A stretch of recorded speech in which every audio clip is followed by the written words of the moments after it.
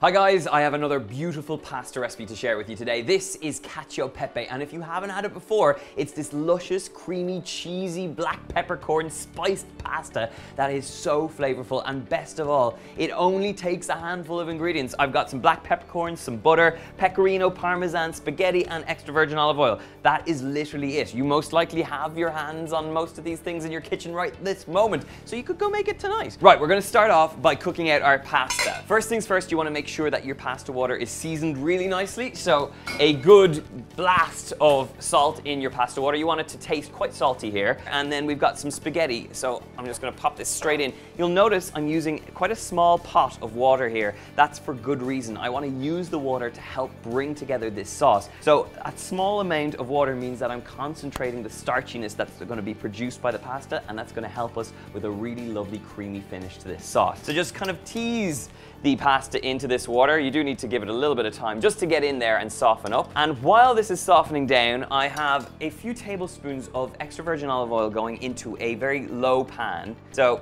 a little drop of that goes in, and then to this, we're gonna grind up some black peppercorns. So I have a nice little pestle and mortar here with some black peppercorns, and all I'm gonna do is bash these up really the flavor you get from freshly ground black peppercorns. It's completely different to the stuff that you buy already ground. So do take the time to grind it up yourself. It just has this powerful bite and that spice you get from black peppercorns is wonderful and especially in this sauce. This is looking pretty good. I don't want to grind too much. I still want to see a little hint of those black peppercorn kernels in there. Let's just check on our pasta, make sure that's down and cooking quite nicely. This is looking good. And then to our pan with the oil, we're going straight in there with these beautiful black peppercorns. Now, what we're gonna do here is just toast these ever so slightly. If you can imagine a lot of these spices, they sit in store cupboards for months on end, and by adding them to a little oil or even a dry frying pan, you're just gonna help them become a little bit more aromatic. So give them a good stir through that oil, and we're just gonna bring this up to temperature just until it starts sizzling ever so slightly. So leave that to come up to the sizzle. Give your pasta another little tease in the pan and you can see it's now softened right into that pasta water. Now, let's talk cheeses. When you make cacio pepe, generally speaking, you want to use pecorino, which is a sheep's milk cheese. It has a sort of tangy, salty bite, but I'm going to add a little bit of Parmesan cheese to my cacio e pepe just to get that sort of nutty flavor that you get with Parmesan cheese, but it's primarily pecorino. So a good handful of pecorino and then a small handful of Parmesan as well. So Parmesan cheese goes on top. And look, if you only have pecorino or you only have Parmesan cheese, it's not the end of the world. Both work really well, but try and preference pecorino over Parmesan. Okay, this is looking good. I'm gonna toss my cheese into a little bowl here.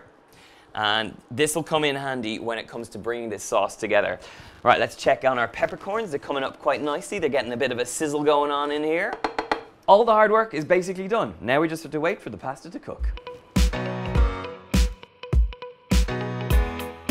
Okay, we are in a good place. We've got pasta just about to be al dente. You want to take it just off before it becomes too soft because we're going to cook it out in the pan here. I'm going to do a little switcheroo, get the heat back on the pan here. I'm going to take about a tablespoon or so of that starchy pasta water, get it straight into our pan. We're also going to add a nice knob of butter that's going to melt down and help create this sauce. Now, the trick of this is to drain the pasta directly into this sauce. But first off, I'm gonna melt down this butter and get it emulsified with the water here. Such a simple recipe, but this is where you need to make sure you get it right because you wanna make sure that you get a creamy sauce and there is a risk that the cheese can just clump together. So there's a little bit of shaking and a little bit of patience to get the perfect cacio e pepe. Right, this is looking good. We've got melted butter, that sauce is coming together. We're gonna grab up our pasta, drain it directly into the pan. And remember, you wanna keep that pasta water to make sure that if you need to loosen out the mix, you have something to do it with. So just transfer that across. Right, we've got all our pasta in. It's time to go in there with our pecorino and our parmesan. A little drizzle of olive oil is gonna help it along. And now, my friends, you need to stir and shake until you get that lovely sauce. Takes a bit of patience, but you will get there and you'll be left with a creamy, gorgeous pasta sauce. This is where it's at. And actually, this does need a tiny little bit of water, so just straight in while it's cooking with a little bit of that liquid. Okay, we are in business. You can see that luscious, creamy sauce coming together. Right, this is looking good. Give it a last little toss, see where we're at. We got a lovely sauce there. Right, straight into a plate. Let's serve it up. Nice big spoonful of that. Look at the creamy sauce. No cream added. It's literally just pasta water, a touch of butter, and that cheese. This is spectacular. A little bit over the top. And my friends, we are in business. That is a proper plate of pasta. Let me grab a tiny touch of cheese just to pop over the top. Last little grating of cheese, and you need no more. And now, the only job I have left to do after all that shaking is to dive in here and give it a taste.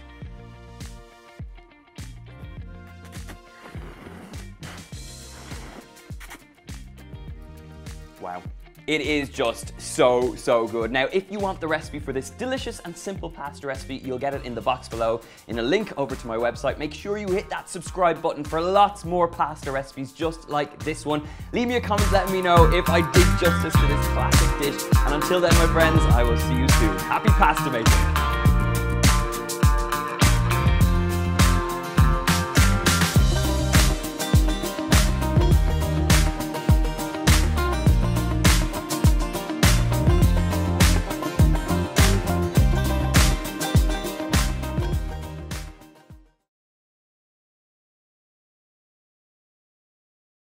The beauty of this dish, like I said, is it's only a handful of ingredients, but really it can happen all on the hob. You can watch it as you're going and, oh God, sorry, I'm sorry, Jesus Christ, here we go.